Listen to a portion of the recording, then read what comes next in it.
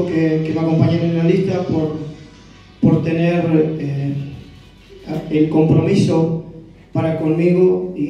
y, y tener eh, la capacidad de, de, poder hablar, de quitarse eh, ese, esa atadura muchas veces que uno tiene de poder decir las cosas. y de eso estoy hablando, del tema de, de la capacidad que hay y de las ganas que hay de poder cambiar todo esto. Colaborar en lo que en lo que sea necesario para que Plaza Winkle cambie. Y, y bueno, eh, tenemos muchos proyectos para trabajar en juventud,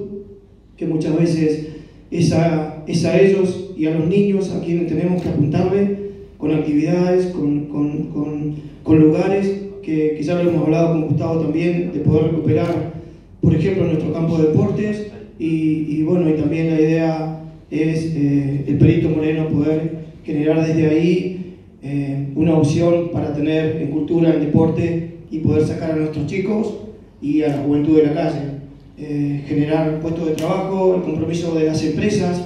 que tienen que estar para Plaza Vínculo, ese compromiso que, que muchas veces eh, no lo generan, pero también tenemos que hacer una media culpa de que, de que muchas veces somos nosotros que permitimos que cuatro o cinco, cuatro o cinco de esos vagos, cada vez que llega una empresa acá a Plaza Vínculo, la corren le prenden gomas y no pretenden un puesto de trabajo, pretenden un arreglo, entonces, eh, un arreglo personal más, que, más allá de todo. Entonces esas cosas creo que tenemos que pulirlas, superarlas y creo que desde una buena gestión eh, se puede hacer. Por eso el acompañamiento a Gustavo, por eso es que nosotros nos sentimos muy fortalecidos desde nuestro grupo y, y bueno, eh, luchar eh, y si tenemos, con la gracia de Dios, poder tener la posibilidad de llegar al Consejo Deliberante a hacer ni más ni menos que lo que estamos proponiendo.